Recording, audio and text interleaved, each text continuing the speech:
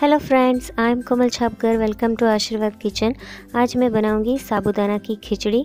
साबूदाना की खिचड़ी अक्सर हम लोग व्रत में बनाया करते हैं। खिली खिली साबूदाना की खिचड़ी बनाने के लिए मैं आज कुछ टिप्स और ट्रिक्स आपके साथ शेयर करूँगी, जिसकी वजह से हमारे साबूदाना की जो खिचड़ी है, उसका हर एक साबूदाना एकदम खिला खिला रहेगा। तो मैंने यहाँ पे लिया है एक और दूसरा आधा कप साबूदाना, इसको हमें तीन से चार बार पानी से अच्छे से धो लेना है। और आप देख सकते हैं, ये जो साबूदाना है, वो इस तरह का होना चाहिए। इसमें पानी ऐड करते ही आप देख रहे हैं, ये पानी ट्रांसपेरेंट ही है। इसमें बहुत ज़्यादा सफ़ेदी बाहर नहीं आ रही है साबूदाना से। तो इस टाइप के साबूदाना यूज़ करेंगे तो खिचड़ी बहुत अच्छी खिली खिली बनेगी। तो इसको मैंने तीन से चार बार पानी से धो लिया है। अब मोस्ट इंपॉर्टेंट थिंग यहाँ पे आती है साबूदाना को भिगोने की। तो यहाँ पे हमने एक कप पानी लेना है और दूसरा दो टेबलस्पून पानी ऐड करना है। इसमें आपको ज़्यादा पानी ऐड नहीं करना है।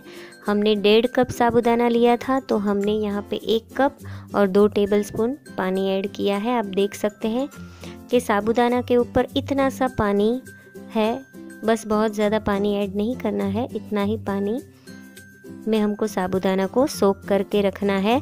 मिनिमम पाँच से छः घंटे इनको भिगो के रखना है। और उसके बाद हम इसकी खिचड़ी बनाएँगे। तो आप देख सकते हैं, पाँच से छः घंटे हो चुके हैं और साबुदाना के अंदर का सारा पानी साबुदाना ने एब्जॉर्ब कर लिया है। और आप देख सकते हैं, ये कितने बड़े हो गए हैं साइज़ में अच्छे खासे फूल गए हैं। और आप देख सकते हैं कि अब कोई भी एक्स्ट्रा पानी नहीं बचा है। जब ऐसे हाथों से उठाते हैं तो आप देख सकते हैं हाथ बिल्कुल ड्राई है। ज़रा भी पानी नहीं है हाथों में और साबुदाना अच्छे से भीग चुका है। इसे तोड़कर देखेंगे तो ये एकदम सॉफ्ट हो चुका है अंदर से भी। इस तरह से साबुदाना भीग जाना चाहिए। और अगर आपके साबुदाना में पानी ज़्यादा है तो आप इसको छन्नी में रख दीजिए एक घंटा। अब इसमें हम सॉल्ट ऐड करेंगे। Half teaspoon red chilli powder add करना है। अगर आप नहीं खाते तो आप ग्रीन चिली यूज़ कर सकते हैं। यहाँ पर मैंने ढाई टेबल स्पून शुगर ऐड की है, वो भी ऑप्शनल है। और half tablespoon lemon juice add किया है मैंने। Half teaspoon green chilli का पेस्ट ऐड कर रही हूँ। आप इसको कट करके फ्राई करने के टाइम पे ऑयल में भी ऐड कर सकते हैं। तो यहाँ पे मैंने पेस्ट भी ऐड कर दिया है और अब इसको अच्छे से मिक्स कर लेंगे। और अगर आपको वीडियो अच्छा लग रहा है तो प्लीज़ लाइक बटन को ज़रूर प्रेस करें। अब एक कढ़ाई में हम डेढ़ टेबल स्पून ऑयल लेंगे। उसमें हम थ्री टेबल स्पून पीनट को ऐड कर देंगे और इन्हें हल्का गोल्डन ब्राउन होने तक फ्राई करके किसी डिश में निकाल देंगे। और अब इसी ऑयल में हम ऐड करेंगे एक टेबलस्पून जीरा। जीरा को चटकने देंगे, उसके बाद एक टेबलस्पून सफ़ेद तिल ऐड करेंगे। उसके बाद 10 से 12 करी पत्ते ऐड करने हैं। इन्हें थोड़ा सा हम कुक कर लेंगे।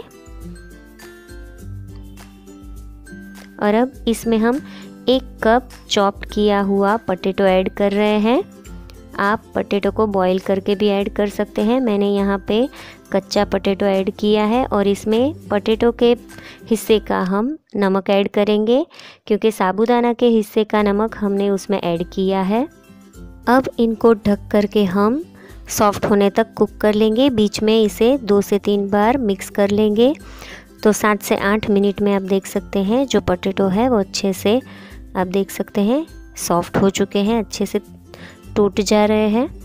तो अब इसमें हमने जो साबुदाना का मिक्सचर रेडी किया था, वो ऐड कर देंगे और इसे अच्छे से मिक्स कर लेंगे और इसे मीडियम फ्लेम पे हम मिक्स करते हुए सात से आठ मिनट के लिए कुक कर लेंगे, जब तक कि ये हल्के से ट्रांसपेरेंट हो जाए।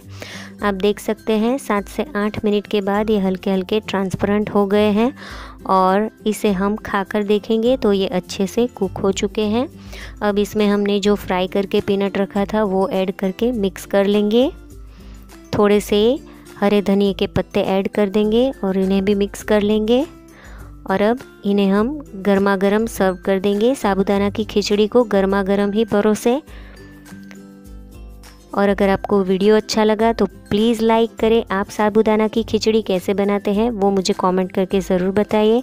फाइनली इसे हम गार्निश करेंगे धनिया के पत्ते पीनट से, और एक करी पत्ता रख देंगे। और फाइनली आप इसको फराड़ी चेवड़ा के साथ ज़रूर ट्राई करें, ये बहुत ही अच्छा लगता है। और थोड़ा सा क्रंची टेस्ट भी आता है तो बहुत ही अच्छा फ्लेवर आता है इससे। तो फ्रेंड्स मेरी रिक्वेस्ट है कि अगर आपको मेरा वीडियो अच्छा लगा तो प्लीज़ लाइक करें कमेंट करके। मुझे बताएँ आपको रेसिपी कैसी लगी। थैंक यू फॉर वाचिंग मेरे चैनल को सब्सक्राइब करें बेल आइकन को प्रेस करें। Bye bye have a nice day